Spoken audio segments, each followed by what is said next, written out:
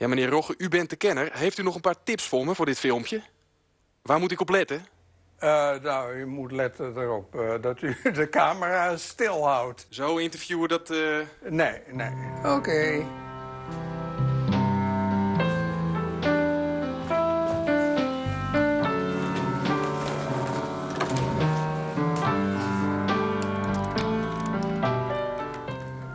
Kijk, zo zag Hongkong eruit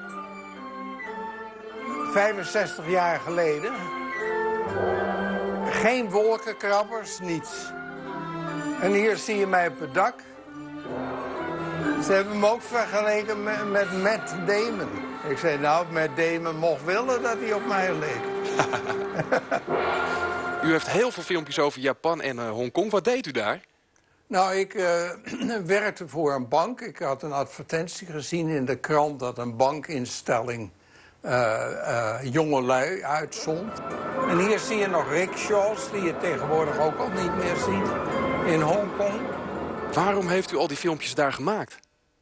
Nou, in de eerste plaats deed ik het... Dus toen ik afscheid nam, was het natuurlijk heel hard voor mijn moeder en voor mijn vader... dat ik zo lang wegging. Ik zei, nou, ik neem mijn camera mee... en dan ga ik jullie een verslag geven van wat ik allemaal meemaak. en dan steek ik over naar uh, vlak voor de tram. Die begint net te rijden. En uh, ja, dat gebouw bestaat ook al niet meer. Ze hebben die hele binnenstad afgebroken. Maar hoe verklaart u het succes van al die filmpjes? Want het worden, ze worden echt door duizenden mensen bekeken? Ja, daar in het ver in Hongkong, in Singapore, in Kuala Lumpur... heeft men geen films uit die oude tijd. Nee. Dus uh, voor hun zijn die clips een openbaring. Zo. Uh, dit is dan een foto in mijn kamer in, in Hongkong. En daar zie je dan mijn eerste cameraatje. En dit is dan de camera die daar staat. Dit is de... De Alef, een Duitse Alef. En daar heeft u al die filmpjes in uh, Azië nou, meegemaakt? ben ik het eerste uh, twee jaar in Hongkong heb ik hier mee gefilmd. Dit moest je. U bent nou heel oh. erg overbelicht. Uh, oh, ja, dat moet natuurlijk niet in het filmpje. Nee. Moet, kan niet uit? Oh ja, kan uit, ja. Ja? Oh, die andere. Ja. Pakt u nog wel eens zo'n oude camera om uh, mee te filmen? Oh, nee, nee. Uh, nee, ik durf er niet aan te komen. Het zijn zulke broze elementen. Ja? Dat, en die zijn natuurlijk nooit meer vervangbaar. Ik stof het nooit af. Het moet echt oud lijken. Maar filmt u nog wel eens? Nee, dat, eh, nou, tot voor twee jaar geleden filmde ik nog wel. Ik, mijn laatste films gingen over zes cruises die ik gemaakt heb naar eh, Groenland en IJsland.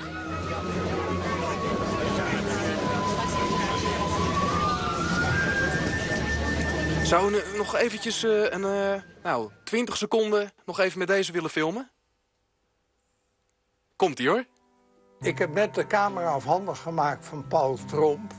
die zich de grootste zorgen maakt. En ik sta op het punt hem te laten vallen. Maar voordat ik hem laat vallen... Uh, toon ik nog even alle prachtige apparatuur die ik heb gezien... en die u nooit heeft gezien. Uh, dit is een Italiaanse camera. Daar staat een vooroorlogse projector. Eerste verlichtingsbronnen een camera-grammofooncombinatie. De, de grammofoonplaat liep synchroon met de film. Dat is wel genoeg, hè? Ja, zal ik hem overnemen? Zo. Voordat nou. ik hem laat vallen. Voordat u hem laat vallen. Nou, dat ging toch hartstikke goed? ja, dat Ja, ja. Nou, zo even geïmproviseerd? Nou hoop ik dat ik inderdaad mijn camera steady hield. Want uh, dat is natuurlijk wel een vereiste. Ja.